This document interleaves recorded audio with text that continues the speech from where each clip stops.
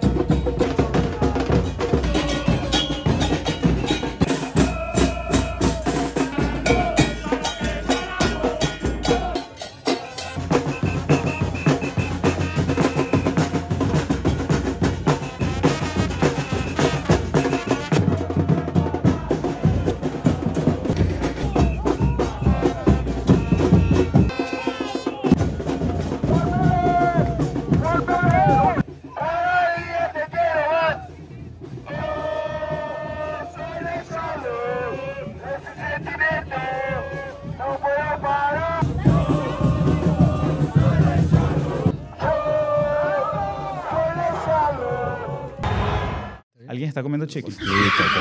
Un chicle con coca pues, de Perú. Hola, ¿qué tal? Gracias a todos. Soy Daniel Alvarado y esto es Dale Dale Podcast.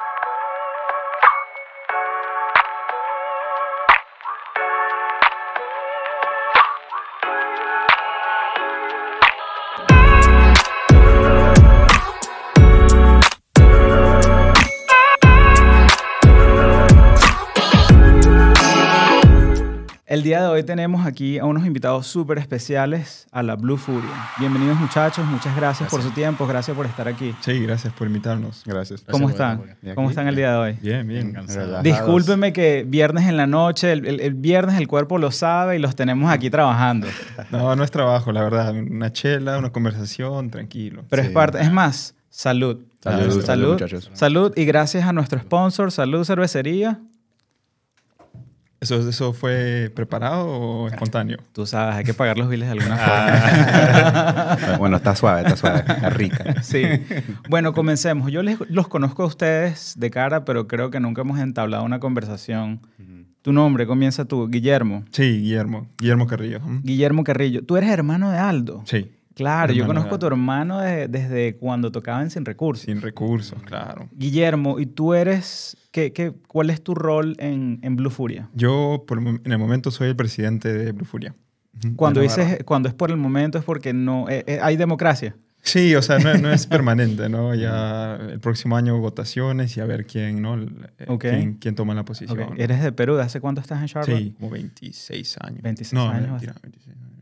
¿De qué- qué año 23 llegaste? años, 23, 23 años. años, 23 ¿ya? años, sí. Ya, Ok. David Carrasco. David Carrasco, tú eres el vicepresidente. Sí. Tienes cuando, cuando a Guillermo le da dolor de cabeza y no quiere ir, ahí mandas tú. Ahí tengo que estar. Ahí también ayudarlo, apoyarlo. Cuando se olvide las cosas, ahí estoy. ¿Y tú eres, tú eres de Perú también? Sí, también. Padres peruanos, pero nacido aquí. en- Ok, en- o sea, Charlottean, Bueno, digo, nací en Los Ángeles y me mudé a unos, o sea, en Los Ángeles, después fui a Nueva York y, de ahí mis padres buscaron a Charlotte, no sé de dónde, pero ¿a, qué, a qué edad llegaste a Charlotte? yo creo que el año 93 por ahí. ¿Cuántos tenías? ¿Cuántos años yo, tienes tú? Ahorita tengo, estoy de 35 ahorita. Ajá. No sé, tendré unos 10 años, menos, no sé, chivolo. Chivolo. Viejo. ya estoy viejo, ya estoy viejo. ¿Y tú, David? Yo soy Alexander. Alexander, Ah, Alexis, perdón. está bien. Ah, Chocolate. producción, por favor, Choco, la choco. próxima me mandas los nombres bien como Dale, debe choco. ser.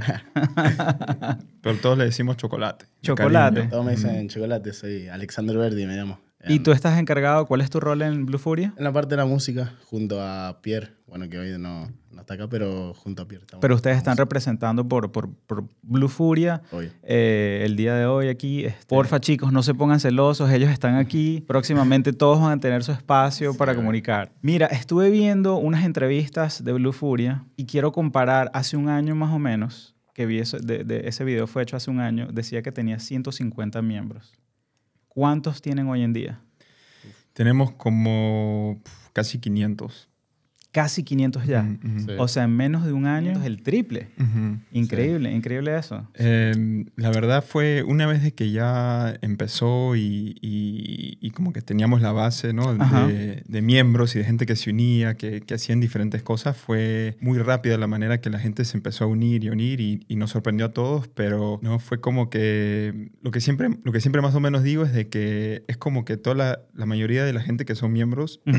Vienen de otros países, entonces eh, están acostumbrados a ser eh, parte de una barra en sus países. Ok, ya tienen, ya tienen esa experiencia tienen y esa llegan aquí y ya experiencia, saben sí, cómo funciona. Exacto, entonces tienen esa como que esa llam- llamita de fuego aquí Ajá, adentro. Claro. Que cuando bueno, nos, nos mudamos a Charlotte, eh, está, está como que apaga- apagada, ¿no? Por supuesto. Y de pronto, pum, llegó el equipo y em, em, no, empeza- armamos la barra y traímos a la gente y esa gente como que se ve, y, y yo, me incluí, yo me incluyo, ¿no? Ujú.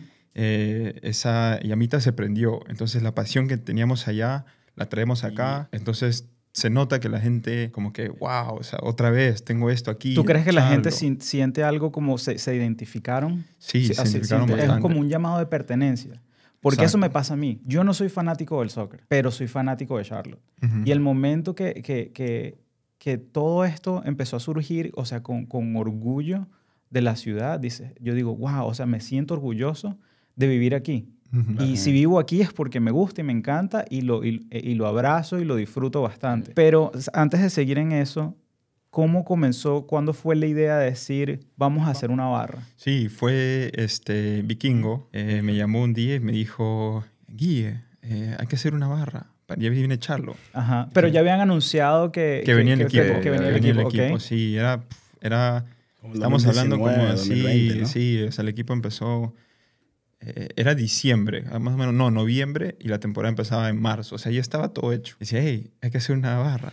Y dije, estás loco. Dije, ¿Por qué te barra? pareció que estaba loco? Dije, estás loco, porque ya hay barras, o sea, porque yo dije, oye, hay barras. Dije, sí, hay barras, pero eh, todas las barras, eh, ninguna es como nues- nuestra barra que conocíamos en Perú, ¿no? Eh, barra latinoamericana, no solo peruana, pero el estilo latinoamericano.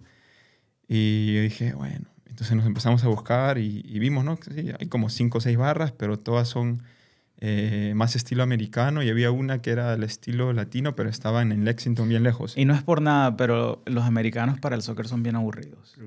Sí, comparados ese- con los latinos. Sí, es otro estilo diferente. ajá. no, no es por ser, es el Uno- estilo que, o sea, yo, yo, yo trabajaba con, con una persona de Austria Ujú. y fue un partido, hubo un día que hubo un partido en la mañana, era, creo que era el Manchester United, Ujú. y en la tarde fue en México contra alguien más. Y él se quedó a los dos partidos y dijo, qué increíble. La El, diferencia. el- el- o sea, Sí. increíble de cómo el partido en México fue tan prendido, la gente haciendo tailgating y disfrutando y viviéndose el fútbol. Cuando fue el de Manchester era como que todo el mundo callado, como que oh, súper aburrido. Sí. Sí. Pasa que la gente se, se identifica y todo con nosotros, ¿no? Porque ven el ambiente que hacemos, es lo más parecido a Es buenísimo ese ambiente. escuchar la música, Me ve uno encanta. bailando, el otro ahí haciendo cada cosa y Sí. te la Sí, risa, mirar por sí. un lado, para el otro. Es súper increíble. Mira, yo fui al partido, al, al partido inaugural. Ajá. Y fui gracias a que a mi esposa y a Alessandra me decían, vamos, vamos, vamos. Y yo era así como que, no, ¿para qué va a haber fútbol? ¿Para qué va a haber...? Bah", Claro. Como que, y me dijo, compro la entrada, si quieres no me la pagas, no importa, pero vamos. Ah, ya. Casi que lloré ese día. Sí. Por, lo, por lo bonito, por todo, o sea, por Ujú. ser parte de la historia de la ciudad. Claro. sí, sí. ¿Cuál partido fuiste? ¿Te acuerdas? El inaugural. el inaugural. El- el- Wow, ok, sí, sí. Que, que fue Sí, como cuando el- 80 mil personas. Himno, el himno se cortó y todo. Qué increíble fue eso, que a- apenas como el segundo que empezó a cantar el himno nacional, se le fue el, el- el sonido al, al micrófono Toda la gente. y toda la gente. Y Sí. yo lo tararía porque yo no me sé el himno nacional. No, ya, Pero- sí, ya es parte de la cultura también, de la ciudad misma. sí. Entonces, es bonito ver, ¿ah? Sí, ver cosas estuvo, estuvo increíble. Entonces, él Bueno, te dice, sí, hagamos entonces, una barra. Claro, no- y yo dije, bueno, no hay, pero nos pusimos a buscar y vimos, sí, tiene razón. O sea, no hay ninguna barra que nos llama la atención, pero, oh, sí, me voy a unir a esta barra, a esta otra. No, no había. Entonces, como que seguimos hablando por teléfono. Él decía, sí, hay gente que está interesada, no hay, eh, hay que hacerlo. Entonces, ¿tú crees que la creación de Blue Furia fue por porque hacía falta eso a lo que, lo que ustedes querían pertenecer? Exacto, hacía falta. Sí. No, no había en el momento, no había. Y era lo que más nos gustaba, ¿no? Lo que queríamos es Este tener aquí, porque en sí emocionados por tener un equipo de fútbol, pero es otro nivel, no solo tener un fútbol, pero poder alentarlo de la manera que nosotros estamos acostumbrados y, y pertenecer a una barra que la verdad todos somos amigos, amigas, nos llevamos bien y uf, es como otra familia, ¿no? Aparte de eso. Entonces, sí, no estaba ahí y, y bueno, eh, nos pusimos ahí, ¿no? Eh, juntamos un par de gente, hablamos de nombres eh, y al final yo creo que el día que en realidad ya se concretó fue que juntamos un poquito de dinero y compramos un bombo así a la loca en Marketplace. Ajá, ajá. Fuimos a Carolina del Sur, compramos un bombo, malísimo el bombo. Ahí está- ahí está de, tirado todavía Ahí en está mi casa. tirado. Era Pero- un bombo de, de orquestra eh, así, o sea, gigante. Pero yo creo que eso lo tienen que guardar como parte, eso como el emblema del, del- Debe de la- ser, ¿ah? del Tenemos- nacimiento de, la, de barra, Tenemos ¿no? uno Sí. que dice Blue Fury ahí Sí, también. fue uno de los primeros. los Claro. primeros también. No, pero ese era el, inicio también. el, ahí, el me- prim- el primerito fue el grandote. El ¿Y, y quién, lo, quién lo pintó? Porque me acuerdo estaba pintado ese. No, No, está no, original. está ¿no? original. Está en mi casa, boludo. Oh, sí. Sí, sí. entonces, Ajá. bueno, eh, compramos, nos tomamos una foto, pusimos el dinero ahí y dije, ¿sabes qué? Ya no hay marcha atrás, ya, tenemos Sí. el bombo, Ajá. es lo Todo. principal. Entonces, Sí. desde ahí empezamos, ¿qué cantos, qué cantos, qué cantos, qué cantos? Y bueno, me Y- y gustaría... en este ah, momento todavía era informal, ¿ya tenían nombre o todavía era como que la barra y ya? O, Sí, sacaron nombre, ¿no? Ya, ya estuvieron Blue conversando. Furia, sí. sí, Blue- hay que llamarnos Blue Furia, por ahí un par de otros nombres, pero todos malísimos. hasta, el- hasta el logo, ¿te acuerdas del Hasta logo? dijeron, este, ¿Te eh, estamos pensando que de repente todo en español, turque, turquesa, ah, turquesa, Yo creo que, o sea, Blue Furia quedó perfecto porque es, es español Spanglish. y inglés. Sí. Ajá. Y Claro, nosotros somos eso. Y- o sea, hasta tú que... que- sí, que- así que- me que- identifico, pues. Que, sí. naciste aquí, Sí. pero de, familia. Mi esposa también es así. Sí, El, el cerebro de ella va en Spanglish todo el tiempo. exacto. Ujú. Cuando, Entonces- está, cuando estamos en Ecuador, o sea, hay palabras que le salen en inglés y cuando Ujú. estamos acá también le pasa con español. Es, Sí. es Claro. muy normal. Es parte de nuestra esencia. Sí. Sí, Ujú. y- y en, el, en el tema personal, yo, yo vi esta oportunidad cuando se estaba formando y todo. Dije, bueno, eh, yo nunca me he nacido en esto, no, no conozco la- el ambiente porque siempre estuve aquí, ¿no? He, he ido a visitar, he ido a unos partidos y me encantó el ambiente. Dije, wow, esto se puede replicar aquí en esta ciudad. Ajá. Entonces, viendo a Guillermo y Vikingo y cómo se estaba formando y todo, eh, ya, ya me agarró el- las ganas de, de ver esto y Te realizarlo. Sí, me contagió y dije, ya, a ver si podemos realizarlo ya, mire, un- en un año ya de lo que estamos teniendo. ¿Te, te pasó de repente, por lo menos la, la percepción que yo tenía de una barra, era la, la mala fama de la barra brava? Claro. Mm. Cuando estuve en la Ciudad de México por primera vez, me llevaron a un partido de los Pumas con no sé qué otro eh, equipo y vi las barras, las barras bravas, y era increíble. Yo decía, wow, o sea, con los tambores, la energía que, que- que le daban al, al- al partido, pero siempre estaba esa, esa mala, mala fama o como de los hooligans, de la gente que se Ujú. pelea. Incluso en Venezuela eso pasa con, con el béisbol. Ujú. Porque en Venezuela el béisbol es el, el equipo más, el, perdón, el, el deporte más, más grande y también tienen sus barras y la gente se, se peleaba. Eso era lo que sabías, como que no, que se pelean. Pero Yo eso, no. aquí yo no he visto, o sea, aquí es una tranquilidad, una hermandad, se siente seguro, o sea, todo el mundo alegre, me pareció increíble. Hay problema igual de, de vez en cuando sale uno que otro problema, pero ¿Crees que hay, por- pero porque hay rivalidad entre barras o, o simplemente por fanáticos mucha- que... hay mucha desunión. Eh, en la parte de Charlotte, en todas las barras que hay de Charlotte, en demasiada desunión. Nosotros tratamos de llevar todo y como somos los más locos, ¿no? Los más diferentes y, como que todos nos tiran a nosotros y es un montón eso. Y, sabes que hay algo que no se me olvida a mí que escuché que decías que, que el, el éxito venía con, con haters. claro. Es- el éxito no viene solito. ¿no? Los haters vienen ahí acompañados, los envidiosos. Es que el- Entonces muchas vienen- veces cuando la gente, alguien está feliz, o te contagias esa felicidad, o te dicen, no, pero ¿por qué eres tan feliz? ¿No? Sí, sí, sí. Puede pasar eso. Sí. Yo me acuerdo del el primer tailgate que llegué, Ujú. ah, llego, veo una carpita armada, están haciendo pollo, todo. Yo llegué al tailgate del segundo partido. Yo no- el primer partido yo todavía no estaba con Blue Furia. Ok. Y llegó una carpita, eran unos 20 locos, ¿no? Estaban estaban ahí con pollo, haciendo pollo, un, un bombo, todo. Ujú. Y la otra gente era un montón de gente, lo, gente americana, ¿no? Y, y era demasiada gente, y, pero no se veía mucho ambiente. Y de hoy por hoy vas ahí y ves los tambores, ya tenemos una orquesta prácticamente. Tenemos como tres, cuatro trompetas, tenemos no sé cuánta cantidad de instrumentos, los músicos somos como casi 30 músicos. Y te digo, de Eh, los videos que estaba viendo, vi la, la ¿cómo le llaman a la, la caravana? El- el- el- la caminata que hacen. La de- marcha, esa, la sí, marcha. marcha. O sea, la marcha. Vi un video del año pasado y lo comparé con el del, del sábado pasado. Una locura, No, ha crecido un montón. Sí. Un Humo, montón. banderas, trapo, todas esas cosas. Sí, o sea, y, y lo más chévere es la buena vibra que se siente. O sea, Sí. la gente como que sí, vamos a ver. Y para mí hasta a veces ni el partido o como tal, quien gana o pierde, obviamente aquí voy a ir por Charlotte. Obvio. Pero todo lo que va alrededor de, de la- del evento me encanta. La verdad Sí. que están haciendo un trabajo súper, súper excelente Em, porque Sí. están empapando de alegría y de entusiasmo a la gente a sentirse parte de la ciudad, a sentirse orgullosos. De Ya, mí, por sí. ejemplo, de mi, de mi parte, yo que estoy en la parte de la música, no veo el partido. Estoy todo el tiempo pasa mirando a todo. los músicos, vamos, vamos, Ajá. con esta, esta, el O otro, sea, pum, tú básicamente vas dirigiendo, le vas Sí, diciendo... yo no veo el partido nada. Yo no veo absolutamente. Estoy de espalda todo el partido, la mayoría. Por ahí miro un poco, pero no, no, no alcanzo a ver. Escuchas nada. el gol nomás, te cae Sí. cerveza. y, Llego ¡ay, gol, gol! Llego así, cae toda la cerveza encima, una locura. Y en cuanto, en cuanto a la música, adaptan canciones que, que ya conocen de, de las barras de, de- de la- en las que crecieron escuchando. Sí. Muchas muchas la- muchas las hacemos eh, porque no es que vemos una, una canción en el mismo ritmo y le hacemos la- le cambiamos la letra no, No, Ok. hay muchas cosas muchas canciones sí porque son clásicas en la cancha Ajá. y hay otras que no que hemos hecho tenemos canciones originales también y, y están buenísimas Entonces puedes, se puede decir que es algo como, ¿sabes? Como en, la- en la- en el reggae, que están los redeems jamaiquinos Ajá. Y mucho, muchas veces utilizan ese mismo ritmo y a, a veces hasta la, la misma melodía, Ujú. pero le cambian las letras y es algo normal y aceptable, Ujú. así como también componen desde cero. Entonces, básicamente ustedes también hacen algo similar. exacto porque todas las MLS son todo copia de en barra sudamericana Ok. En- porque y hay muchas cosas que no nos dejan hacer por ejemplo no nos dejan meter nosotros haríamos tremenda fiesta ahí en Charlotte en- Adentro del estadio. Por la seguridad, todo tema, eh, no podemos meter paraguas, no Ok. podemos meter globos, no podemos meter humo, no podemos meter cierta cantidad de banderas, cierta cantidad de trapos, cierta cantidad de instrumentos. ¿Crees, ¿Crees que ese trompeta. tipo de regulaciones bajen la, la fiesta?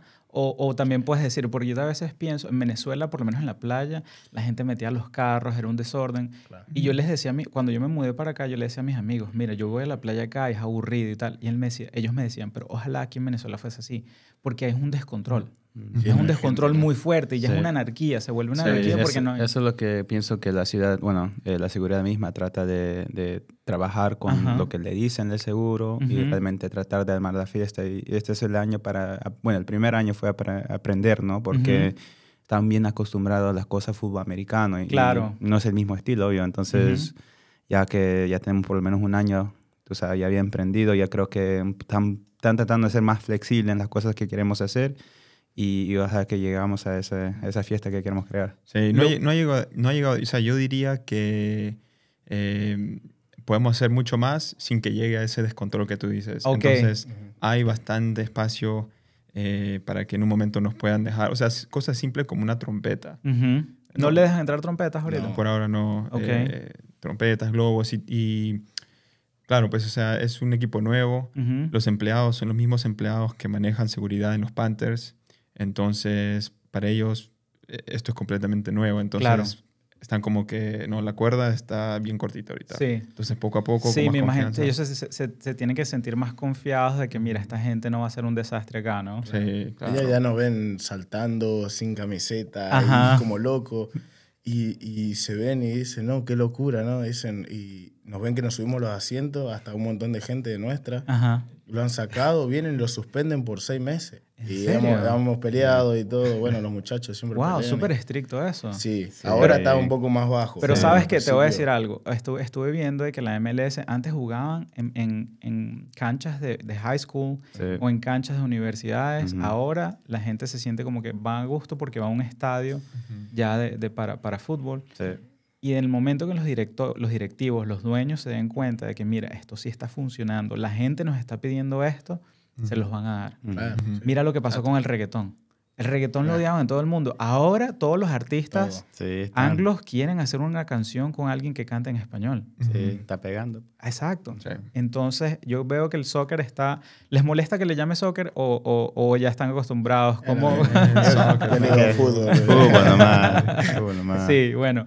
Pero, o sea, lo que es la MLS, el, el fútbol en Estados Unidos está creciendo un montón. Bastante, sí. Y yo Sí. creo que es por eso, porque ya están, bien, están notando que le está dando alegría a la gente, que es lo que necesita. O sea, dejar un momento el trabajo, el estrés, me voy al, al partido a disfrutar, a cantarme la canción, a llorar si pierde el equipo, pero a seguir disfrutándolo. Y un- ahí va a hablar. es una cosa que no es, no es que solamente en, dale, llega el día del partido, vamos al partido. No, nosotros atrás de todo eso es demasiado el trabajo que hacemos. Estos dos chicos están todo el tiempo, Guille y David, están todo el tiempo metiéndole, metiéndole, y vos los ves tan remetidos, ¿cómo pueden? no? Porque tienen, en- es demasiado. Eh, tenemos práctica ¿Cada cuánto practican? todos los miércoles y generalmente por ahí hacemos un asado, viene Rubén, el parrillero, así el ti. Es de- delicioso. Ya he Eh, probado, sí, los choripanes, los son, choripanes, son sí. deliciosos. Chimichurri ahí. Sí. Con un este, cuando, cuando practican en ah, Camp North End, ¿no? sí.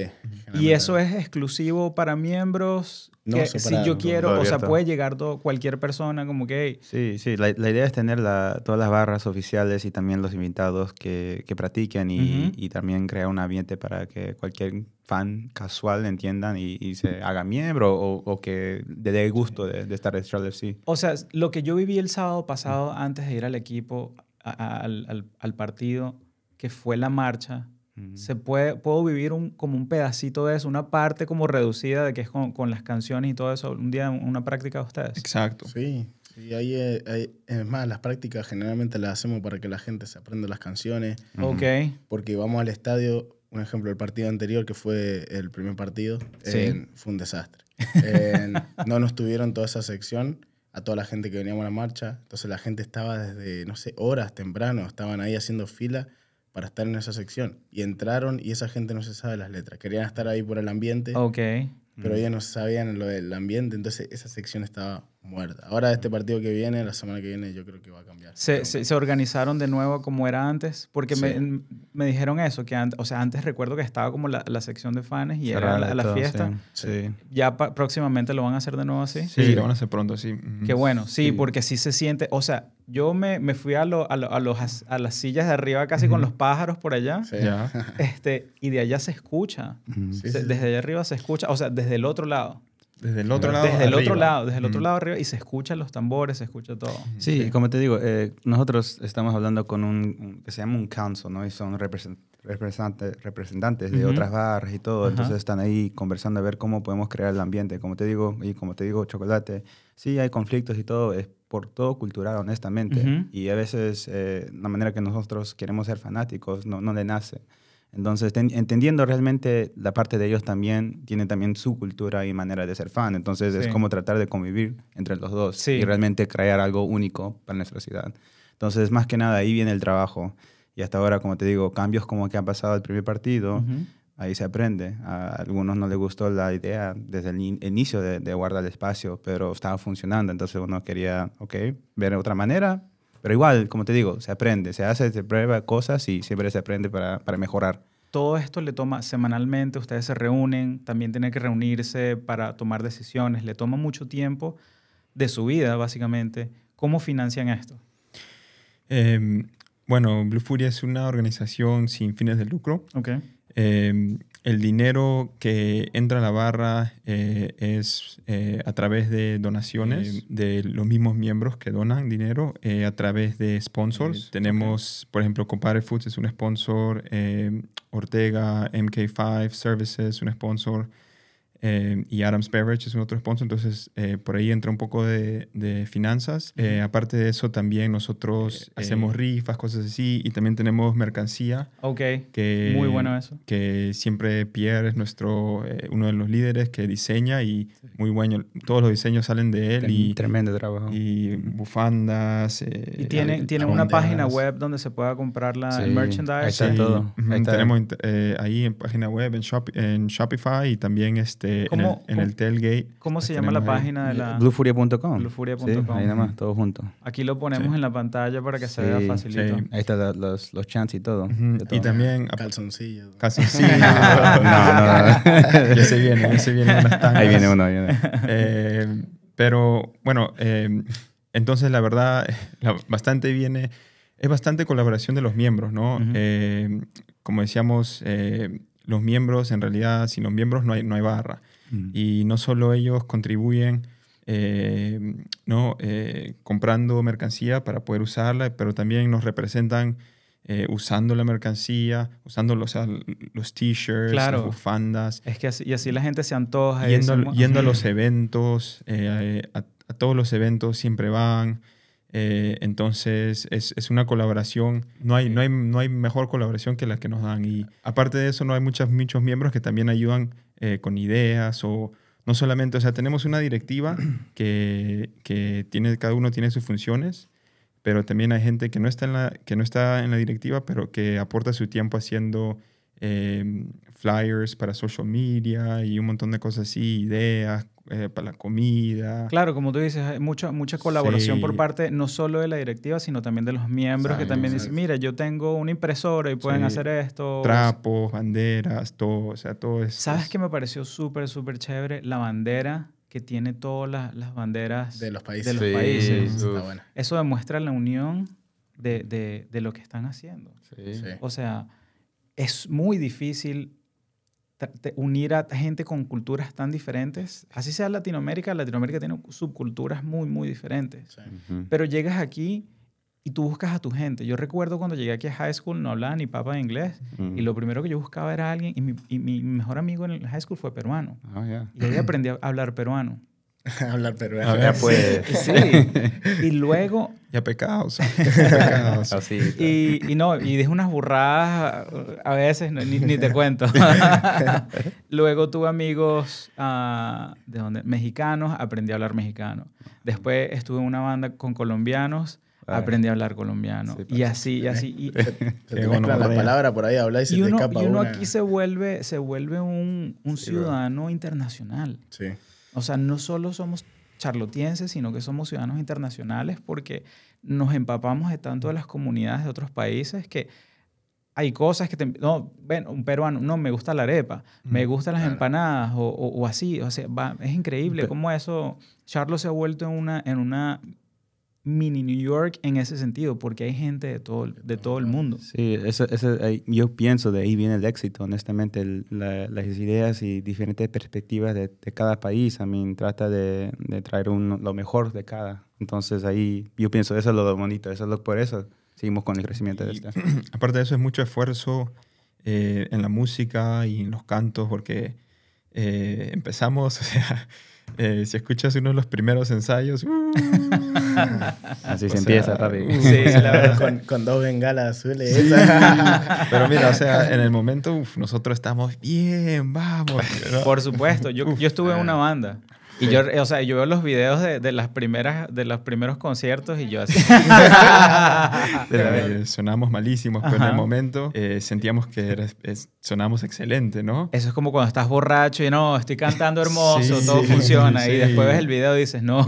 Pero en el momento era lo que teníamos, ¿no? Y nos gustaba. Y, y nadie vino. O sea, algunos sí saben más o menos manejar los instrumentos, pero más que nada es empeño, esfuerzo, es práctica. Y, y le quiero dejar a Chocolate más o menos que explique un poco eso, porque en realidad eh, a- muchos han aprendido. Y, y, uf, ahora suena muy bien, pero. Eres, o sea, eres disciplinado, le pones disciplina a los muchachos para que... Sí, voy a resumir rápido, ¿no? A mí siempre me gustó la percusión y siempre quise tocar un instrumento. Viejo nunca me pudieron comprar uno. Ajá. Llegué acá, vi todo esto, empecé a tocar el redoblante y de ahí pasé y me compré mi repique. Me compré y al principio se me cagaban de risa todo. Era todo. Dale, dale, me siento que me agarraban para la joda y no importa, yo le metí, le metí, practicaba solo y, y bueno, aprendí y sigo aprendiendo obviamente y bueno, pero ahora, hoy por hoy me metí tanto y estoy metido al 100% en todos los instrumentos que le enseño a todos los muchachos. La verdad que creo que un 99% de los muchachos que están ahí, de los 30 personas que somos, son nadie, ha- nadie ha estado en ningún instrumento antes. Son O sea, todos han aprendido gracias a, a- sí. a ir a las prácticas cada semana. Exacto. Y sí. meterse y, Y enseñar por su, por su cuenta. Sí, Exacto. la dedicación. Agarrar, darle un instrumento, tomar practicar en tu casa, te mando video, hace esto, lo otro. Y la verdad que el esfuerzo de todos los muchachos es un montón. Un montón vienen y te dicen, no, chocolate, está llevando todo esto re bien. Le digo, no, loco, no es, no es solo yo, boludo, es toda la gente, boludo. Todo, cada uno de los muchachos, cómo están. La verdad que cada vez que escucho los videos, las prácticas, es como una satisfacción, ¿no? Que me da. Porque ves el progreso cada vez que va mejorando. Exacto. Entonces, la verdad que sí, totalmente agradecido con todos los muchachos por siempre poner más y siempre querer sumar más. Y encima, todo el tiempo, cada práctica, en, viene gente y quiere aprender un instrumento, pum, mete y, y va a haber uno más cabeza dura que el otro, pero igual aprenden. Sí, sí, Igual sí. aprenden. No, chéverísimo. Eh, ¿Tú querías decir algo más? Eh, ¿Qué quería decir? A los sponsors, a los sponsors tienes que decirle porque No, te vayan a sponsors ya, regañar. le- ya le di las gracias a los sponsors. No, Sí. no, nada. Agradecido solamente eh, en general, ¿no? A, a todas las personas que nos ayudan. eh, mucha gente, mucho esfuerzo detrás de cámaras que no se ve. eh, y bueno, muchos miembros. No quiero nombrar así porque después me olvido, pero... Y después Se te- enojan. Sí, que están- muchos, pero, muchos. mira, sí voy a nombrar, sí quiero, sí voy a nombrar a Leo porque una historia ahí muy, muy buena que cuando recién lo conocimos a Leo, El eh, de fue- María le dicen. Di María, le. Di María, Di ajá. Fue, fue un ensayo en un estacionamiento, porque claro, no teníamos más dónde hacerlo. ¿no? La única. Eh, no, un estacionamiento en, eh, afuera de un outdoor indoor de, de fútbol. Sí, uno de futbolito. fútbol. Ajá.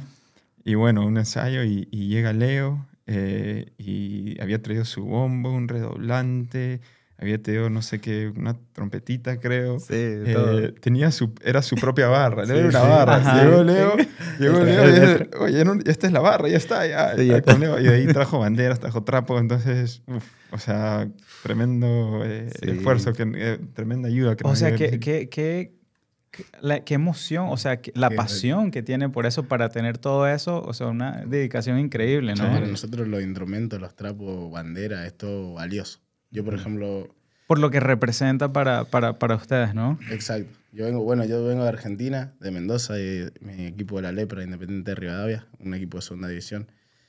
Y bueno, todo eso te enseña, ¿no? Somos muy futboleros en Argentina, en toda Sudamérica, ¿no? Pero en, en Argentina demasiado. Y, y el valor que nosotros tenemos en las banderas, en, en los trapos todos grandes que tenemos, en los instrumentos que cada uno lo cuida como que son uno, de uno, ¿no? Decís, ves una en el piso, loco, ¿qué haces en el piso? ¿Qué estás haciendo? No, esto no lo tenés, le tenés que enseñar a mucha gente, tenés que culturalizar, a enseñarle toda esa, la cultura a la gente y, eh, y la gente va aprendiendo y le gusta. Entonces, hoy por hoy, ya todos saben que no tienen que bandera al piso. Todos la tienen. digo, Claro, es que es lo, es lo que representa, o Sí. sea... Pensé que iba a decir que me robaron un instrumento, pues no lo dije. No, no, no, eso no se habla por acá. no se habla. Bueno, muchachos, para ir concluyendo, Sí. yo les quiero agradecer inmensamente por su tiempo. Como, Ujú. como les dije, es viernes, sé que podrían estar en otro lugar, pero aquí estamos. Eh, también como una persona que no es fanática del fútbol. Mm. Gracias a ustedes, están llevando la cultura del fútbol a un nivel popular. Y una persona que no sea fanática del fútbol no tiene, o sea, no tienes que ser fanático del fútbol para ir a un partido y disfrutarlo. Exacto. Ustedes brindan la fiesta, la música, la emoción, seguridad. O sea, uno se siente a gusto ahí y la verdad les agradezco inmensamente por lo que están haciendo porque me hacen sentir más orgulloso de la ciudad donde vivo. Mm. Gracias. Y, Gracias. y, Y, y salud, salud una Salud, vez más salud, por eso. Muy, gracias. Y no, gracias por esas palabras. Y, y bueno, quería invitarle a, la, a, las, a, la- a las personas ¿no? que a veces tienen la idea de que oh, son, son es un grupo de amigos y ya se conocen, pero en realidad todos nos conocimos en los viniendo y, sigue creciendo el grupo. Entonces le quiero invitar a, todas las personas que, eh, que vengan a los ensayos, que nos sigan en Instagram, en Blue Furia CLT, eh, o en nuestra website en bluefuria.com y, que vengan, que, que vengan, que se unan y, y nada, para seguir creciendo, ¿no? Para conocernos, para charlar, para cualquier idea de nuevas canciones, siempre son bienvenidas y, bueno, darle eh, ¿no? esa oportunidad a la gente para que, para que vengan y se unan. Dale, muchachos, muchísimas gracias y nos vemos en, en la, en la próxima tailgate, en el próximo partido acá en Charlotte. Dale. Dale, Mm, gracias por todo. Dale, dale, ¿no? ¿Cómo se llama el podcast? dale, dale podcast. Dale, dale. Oye, Tenemos Dale, una canción. Una canción, dale. Pues. sí, ¿cómo, cómo va la canción? Dale, dale, dale. ¿Es, esa- es esa? Sí. Bueno, Vamos a cantarlos, ¿no? La, la de los guerreros, la reina. Los guerreros, ¿no? ¿Cómo va, cómo va la canción? Guerreros de la reina, los que siempre vienen a alentar. Vamos, hay que transpirar la camiseta, porque esta noche hay que ganar. Vamos, Shalom, yo estoy con vos y mi deseo es ser campeón. Vamos, Shalom, vamos a ganar, que esta pasión no va a parar. Vamos. Un aplauso, muchachos. Gracias. Bueno.